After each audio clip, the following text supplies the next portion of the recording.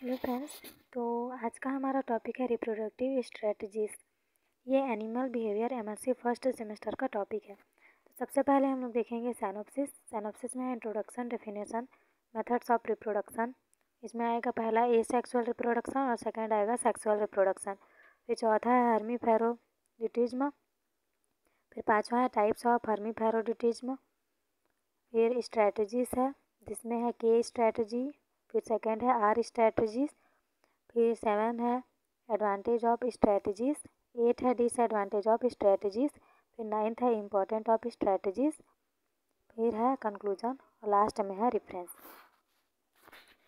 सबसे पहले इंट्रोडक्शन देखेंगे। प्रकृति में अपनी स्पीसीज को बनाए रखने के लिए रिप्रोडक्शन की क्रिया होती है और प्रजनन के लिए बनाए गए कुछ नियम या रणनीतियों को ही प्रजनन रणनीतियाँ या रिप्रोडक्टिव स्ट्रैटेजीज कहते हैं।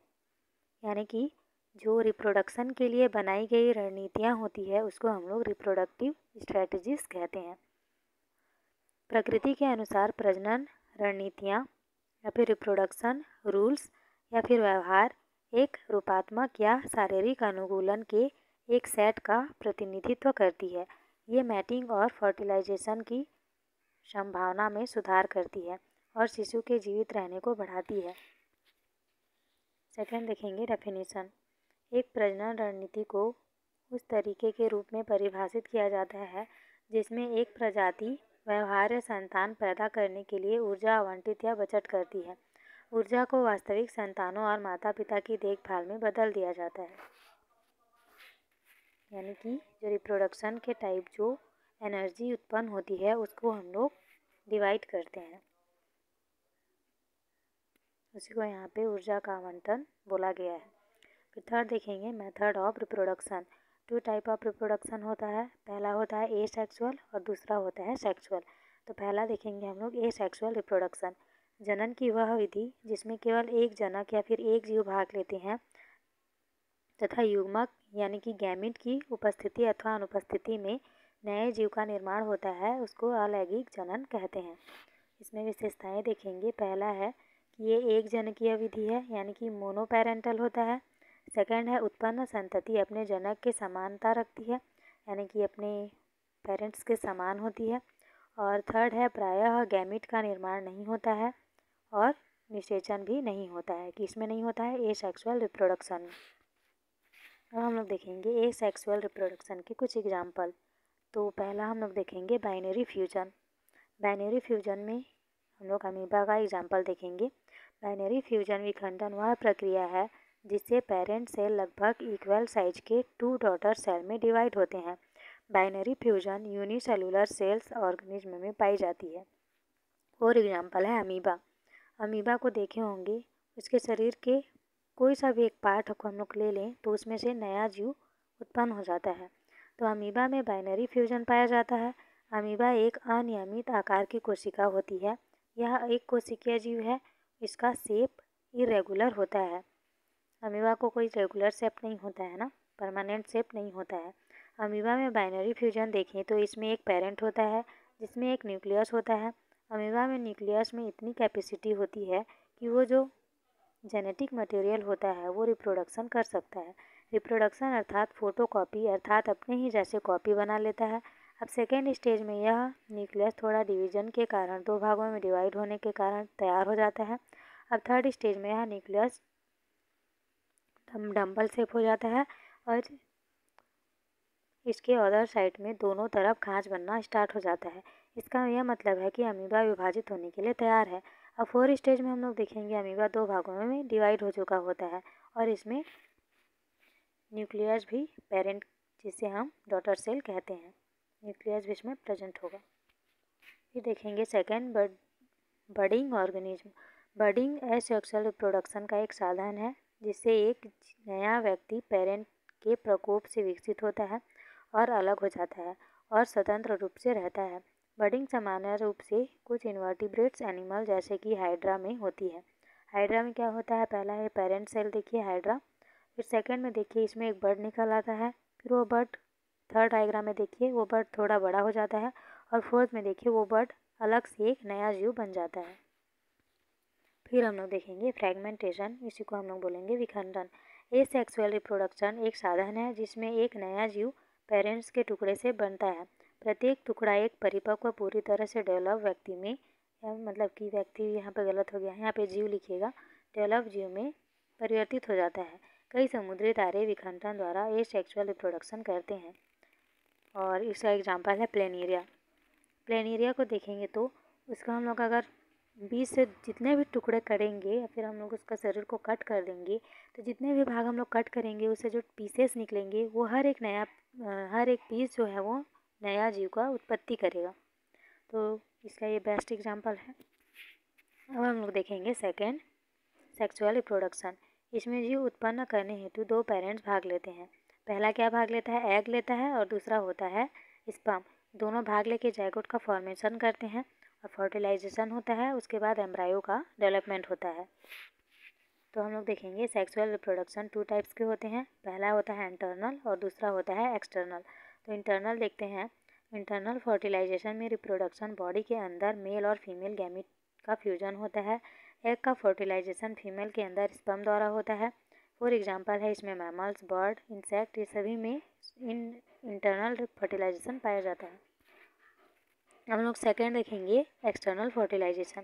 किसी जीव के शरीर के बाहर होने के लिए फर्टिलाइजेशन को एक्सटर्नल फर्टिलाइजेशन कहते हैं।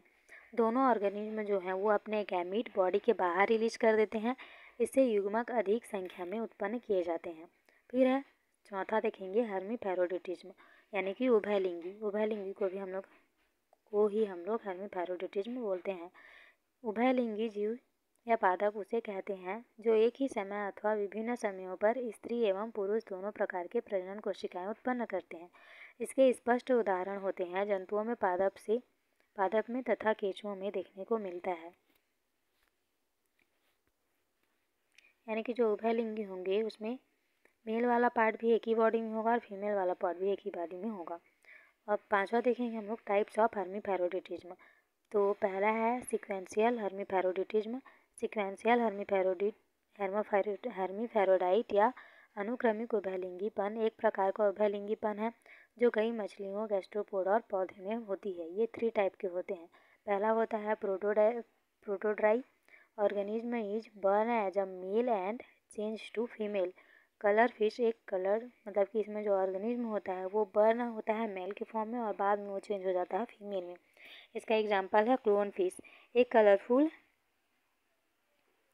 हेडेड फ़िश है, जो सी मून के सहजीवन में रहती है। क्लोन फ़िश शुरू में मेल होती है, लेकिन ग्रुप में सबसे बड़ी फ़िश एक फीमेल के रूप में बदल जाती है। अब हम लोग देखेंगे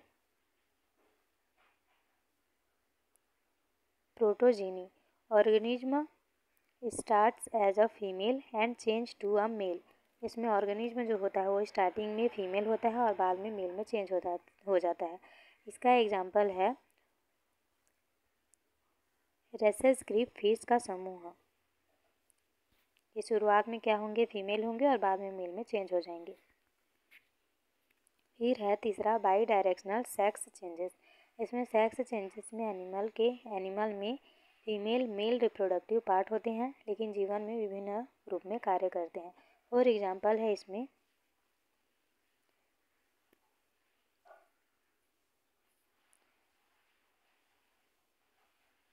सैट्रस डॉल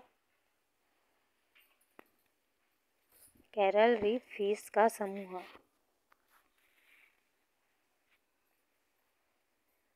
फिर है सिमल टोनस पैरोडिटिज्म एक साथ उभय लिंगीपन दो प्रकार के होते हैं। उनमें से एक है अनुक्रमिक उभयलिंगीवाद और दूसरा है उभयलिंगीवाद का ही एक रूप है। इस रूप में एक व्यक्ति के दोनों प्रकार के युग्मक पैदा कर सकते हैं, अर्थात ये अपने ही अंडों को अपने ही स्पम से निषेचित कर सकती है। ये गुण इसमें पाया जाता है। इसका एग्ज़ाम्पल है अर्थवॉर्म फिर है स्ट्रैटेजीज किसी लक्ष्य की प्राप्ति के लिए बनाई गई कार्य योजना को सामान्य अर्थ में रणनीति कहते हैं। इन्हें दो ग्रुप में डिवाइड किया जाता है। पहला है के स्ट्रैटेजीज और दूसरा है आर स्ट्रैटेजीज पहला हम लोग देखेंगे के स्ट्रैटेजीज के सेलेक्टेड स्पीसीज जिसे के रणनीतिकार भी कहा जाता है। इनकी संख्या या जनसंख्या का आकार, वहन क्षमता के के आसपास या नीचे आता है। के स्ट्रैटेजीज कहलाती है। फॉर एग्जांपल है केकड़ा फ़िश दीमक। फिर है आर स्ट्रैटेजीज इसे आर रणनीतिकार भी कहा जाता है। ऐसी प्रजातियाँ जिनकी आबादी, उनकी जैविक क्षमता आर पर नियंत्रित रहती है। फिर सेवन है strategies of advantage of strategies एक रणनीति को उद्देश्यों की प्राप्ति के लिए निर्मित किया जाता है। शक्तियों का लाभ उठाने के तरीकों को निर्धारित करता है। कमजोरियों को निर्धारित करता है, जिसके भीतर निर्णय किए जा सकते हैं। और आठवां में हम लोग देखेंगे डिसएडवांटेज ऑफ़ स्ट्रैटेजीज सहयोग को बदलने के लिए और बढ़ावा देने के लिए प्रतिरोध को कम करना ऑल्सो डिसएडवांटेज है। स्ट्रैटेजीज एक संगठन मैनेजमेंट प्रक्रिया जटिल समय लेने वाली और लागू करने में कठिन है। नाइन्थ में है important of strategies reproductive strategies एक संगठन ऑर्गेनाइजेशन के लिए इम्पोर्टेंट है। यह ह्यूमन स्ट्रैटेजीज को एक विशिष्ट दिशा प्रदान करती है। स्ट्रैटेजीज रिप्रोडक्शन के लिए इंपॉर्टेंट रोल प्ले करती है। टेंथ में है कंक्लूजन ओवरऑल स्टडी से पता चलता है कि reproductive strategies structural and functional and behaviour adaptation में महत्वपूर्ण भूमिका देता है। शक्तियों का लाभ उठाने एवं तरीकों को निर्धारित करना उचित दिशा प्रदान करता है। और ये पता चलता है कि रिप्रोडक्शन के टू टाइप सेक्सुअल और असेक्सुअल रिप्रोडक्शन और हर्मी पैरोडिटीज में उनके टाइप का अध्ययन किया, जिसके एग्ज़ाम्पल में अर्थवॉर्म को देखा, इसके बाद इसके एडवांटेज एंड डिसएडवांटेज को भी देखा। और रेफरेंस है इसमें डॉक्टर पी नटरंजन और सेकेंड है बाईनेट